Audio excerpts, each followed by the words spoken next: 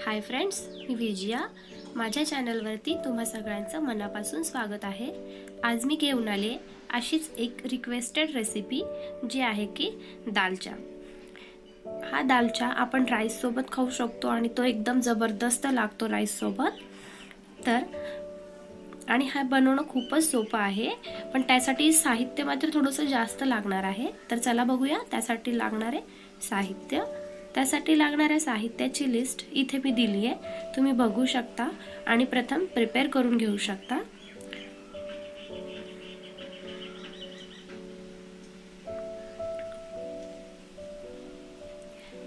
इथे मी एक कप चणा डाळ घेतली आहे. हळद घेतली आहे आणि मीठ घेतलं आहे आता ही चणा डाळ आपल्याला स्वच्छ धुवून घ्यायची आहे. कुकरच्या भांड्यामध्ये मी ही डाळ ओतून घेते आहे आता स्वच्छ पाण्याने एकदा धुवून घेणार आहे. ती ऑलरेडी निवडून घेतलेली आहे मी. स्वच्छ धुवून घेऊयात. धुवून घेतली आहे. आता मी याच्यामध्ये एक ग्लास पाणी ॲड करते ही आपल्याला शिजवून घ्यायची आहे. त्याच्यामध्ये आता आपण ॲड करूयात हळद चवीनुसार मीठ.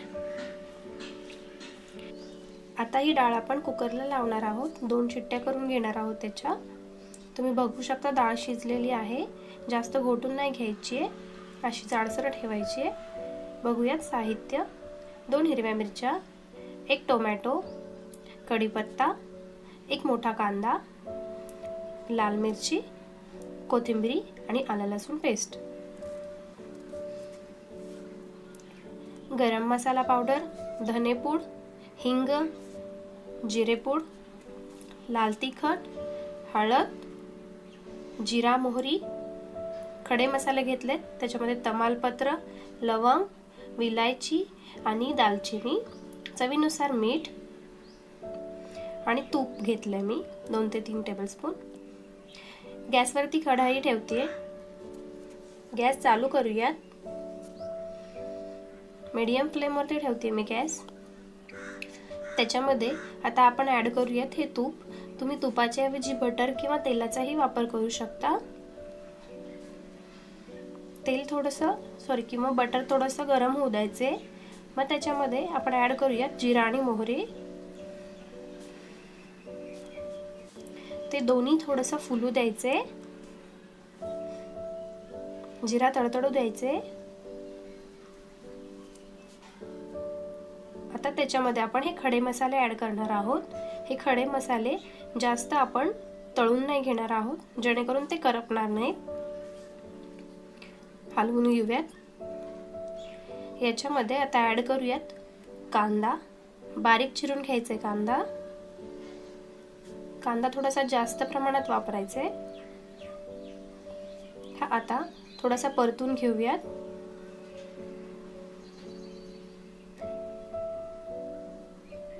त्याच्या पाकळ्या वेगळ्या होईपर्यंत आपण परतून घ्यायचे.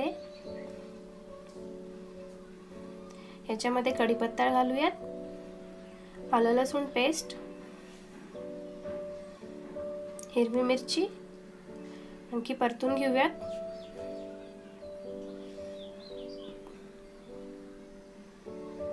कांदा नीट परतला थोडासा ब्राऊन झाला की याच्यामध्ये आपण ॲड करूयात टोमॅटो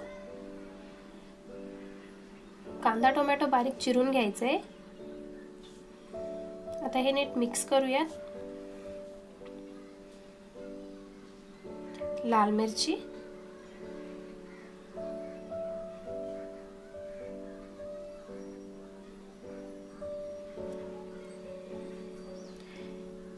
टोमॅटो मऊ होईपर्यंत आपल्याला हे परतून घ्यायचे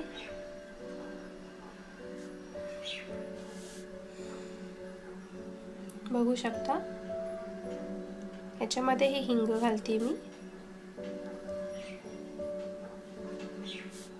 लाल तिखट.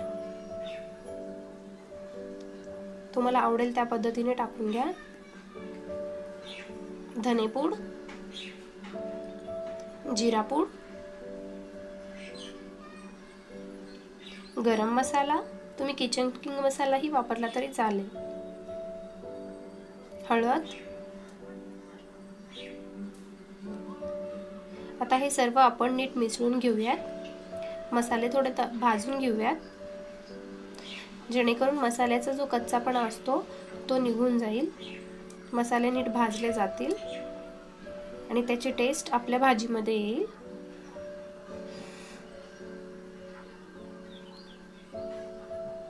थोडं आणखी थोडं तूप मी ॲड करते. तुम्ही तेलातही ही भाजी बनवू शकता.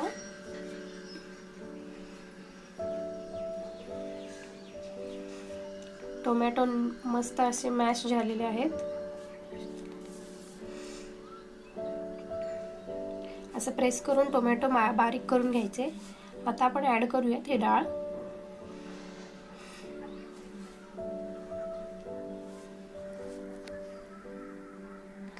नीट मिक्स करून घेऊयात.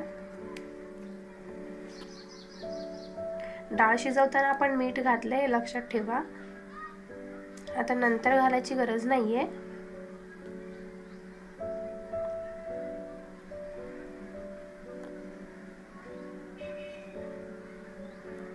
आता ही डाळ नीट झाकून थोडा वेळ शिजवून घेऊया. पाच मिनिट शिजवून घेऊया. झाकून शिजवून झालेली आहे उकळी आली आहे बघू शकताय तुम्ही.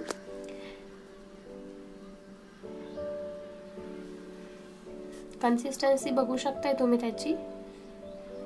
दालच्या शक्यतो गाडाच ठेवा. दालच्या बनवून तयार आहे. तुम्ही बघू शकताय मस्त दिसतोय. चला तर जाऊया सर्विंगच्या प्रोसेसला इथे मी एक बाउल घेतलाय. त्याच्यामध्ये ही दालच्या रेसिपी काढून घेते कलर मस्त आलाय. दालच्या रेसिपी राईस सोबत छान लागते. म्हणजे कॉम्बिनेशन छान आहे. दाल रा दालचा आणि राईस आता मी सर्व करते त्याच्यासोबत टोमॅटो कांदा आणि लिंबू. भन्नाट लागते हे कॉम्बिनेशन थोडी कोथिंबीरी टाकूया.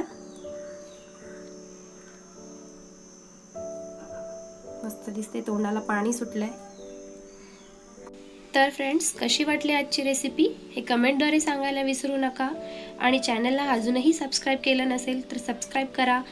बेल आयकॉनवरती क्लिक करा जेणेकरून माझ्या नवनवीन व्हिडिओचे अपडेट्स तुम्हापर्यंत येत जातील.